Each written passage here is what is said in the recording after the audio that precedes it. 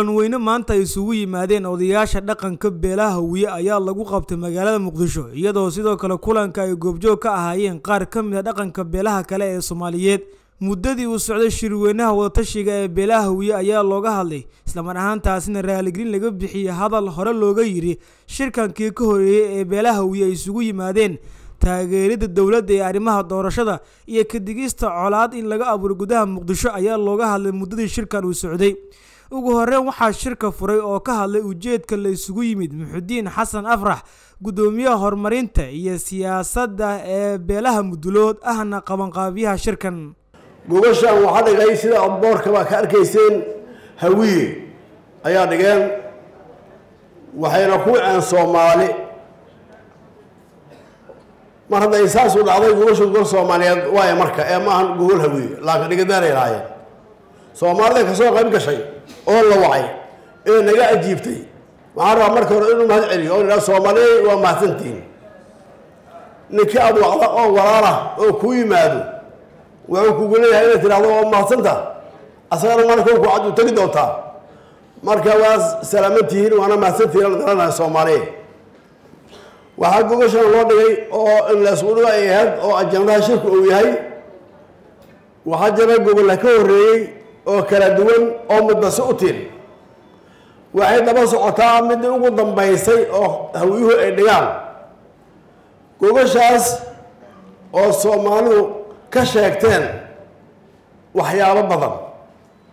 Waxaa marka maanta hawiye u joogaa inuu soomaali wixii aan u qaadmin ee hawiye ka dhacay hawiye ka raaligeliyo hawiye waa badan yahay. Wuxuu leeyahay qof mir qabta iyo qof mirla sidoo kale waxaa iyaga dhankooda shir ka hadlay qaar ka mid a duubabka dhaqanka ee munaasabadda goobjoog ka ahaa.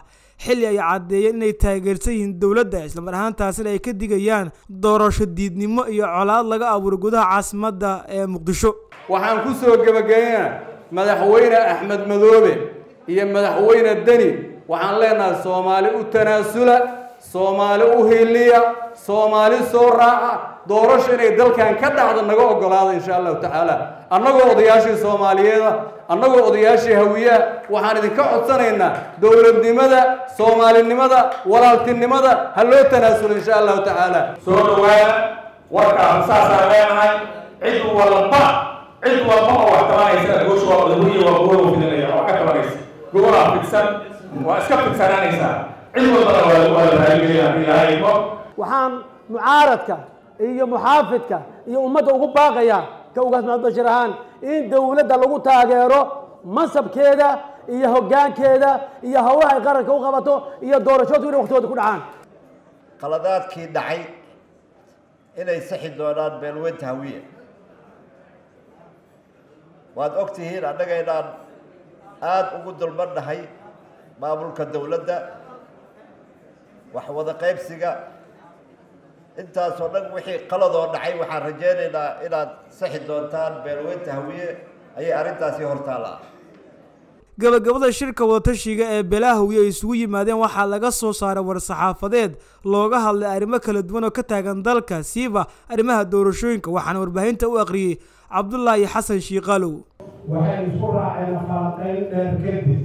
Kow waxqabadka beelaha hawiye iyaga oo dareensan waktiga xasaasiga ah ee uu dalku marayo iyo baahida loo qabo in loo gudbo xasilooni waxay markale caddaynayaan in ay si buuxda u gaartaagan yihiin dowladda soomaaliyeed iyo hoggaankeeda.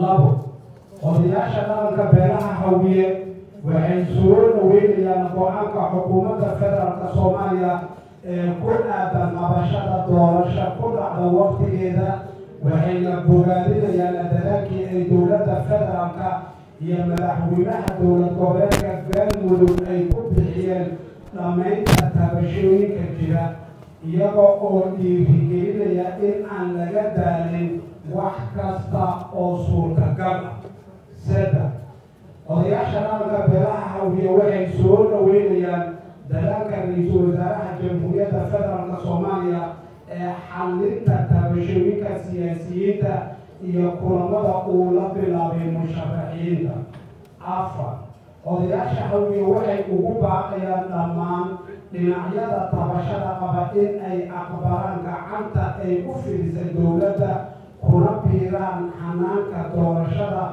dulqaadna ay muujiyaan. Maxamed cali maxamed t v-ga shabeelle muqdisho. Ku xirnow i b s bank goob kasta iyo goor kasta. Adigoo isticmaalaya i b s mobile banking.